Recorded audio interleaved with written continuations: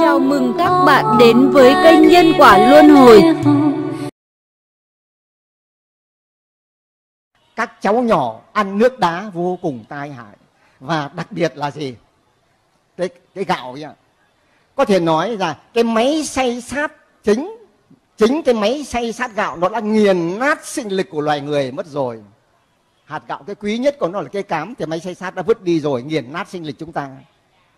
Rồi những cái nước ngọt đóng chai, đóng lon, nó đã làm cho cái kỹ thuật, ngành kỹ thuật làm răng giả trên thế giới phát triển.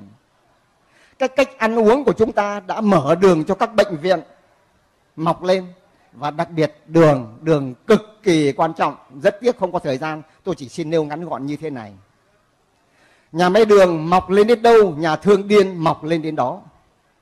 Rất rõ đấy ạ. Nói về đường có thể nói nhiều lắm, tôi xin nêu hai cái dẫn chứng, hai cái thí, hai cái bằng chứng mà rất thuyết phục, đó là Napoleon, một danh tướng bách chiến, bách thắng của Pháp.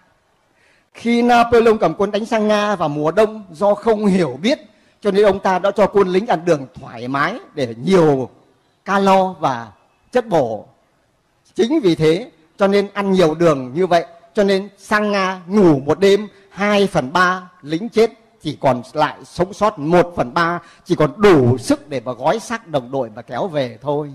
Một danh tiếng bách chiến bách thắng như thế đã trở thành đại bại chỉ vì ăn đường. Gần đây hơn, trong cuộc chiến tranh giữa Mỹ và Việt Nam, lúc bây giờ, những năm 60 các nhà dinh dưỡng học đã nhìn vào một góc độ rất khác biệt người ta so sánh cái lượng đường tiêu thụ của người Mỹ trên đầu người Mỹ và dân người Việt Nam thì thấy như thế này. Lúc ấy trung bình một người dân Việt Nam, một đầu người dân Việt Nam trong một năm tiêu thụ hết một cân hai đến hai cân đường. Trong khi Mỹ nó tiêu thụ từ 15 đến 20 cân đường. Các nhà sinh học nói, dinh dưỡng học nói, chỉ nhìn về lượng đường tiêu thụ này cũng đủ thấy quân đội mũ thất bại. Và khi quân Mỹ giải chất độc hóa học giải thảm B52 xuống vùng chiến khu thì một nhà dinh dưỡng học thông tuệ người Nhật, người Nhật đã khuyên bộ chỉ huy quân đội Mỹ như thế này. Tôi thành thực khuyên công chớ làm điều đó tiếng ác để đời. Công muốn thắng Việt Cộng ư tôi bày cho ông cách thắng rất êm đềm. Hãy thả thật nhiều đường sữa bánh kẹo xuống chiến khu. Cái đó nó sẽ giết đối phương của ông nhanh hơn. Nhưng bộ chỉ huy quân đội Mỹ ngu quá, không biết điều đó và tôi nghĩ cũng may là nó ngu, chứ nó không ngu thì có khi gầy gò với ta. Ta gầy gò lắm.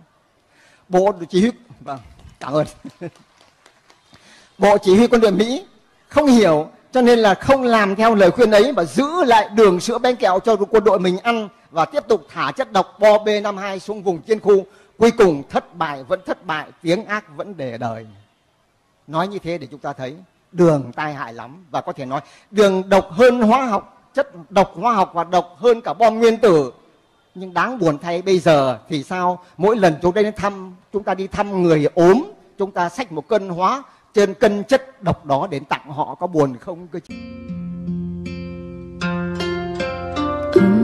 ha ha ha 问什么的说